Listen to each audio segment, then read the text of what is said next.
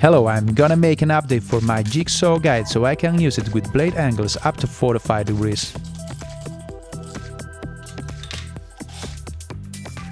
So I have to remove the quick access cover. Take in mind that you may need a different solution for other jigsaw models.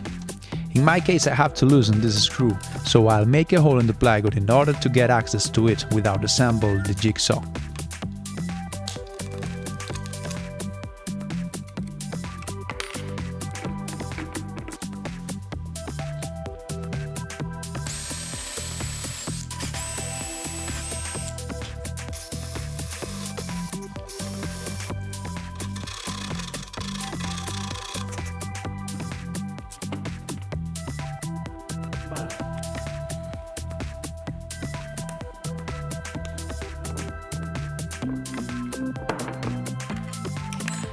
I am going to try if everything works with my biggest blade.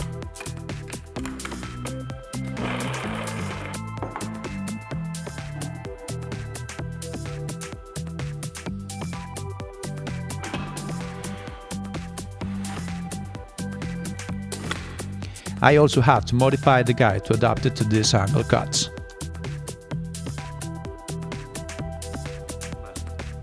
Now I'm marking the position of the drill for the threaded insert.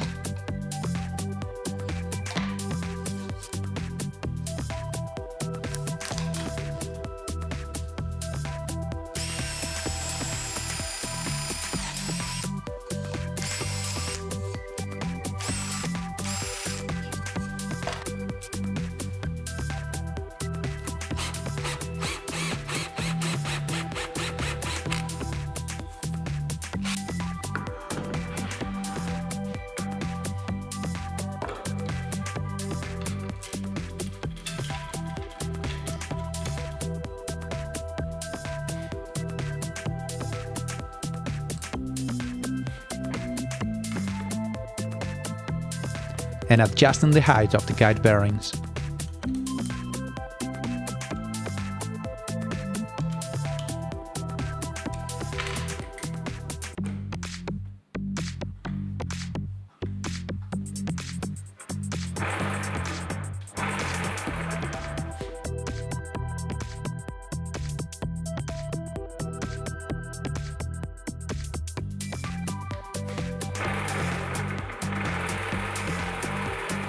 I'm gonna mark and sand the corners in order to get some mark out height.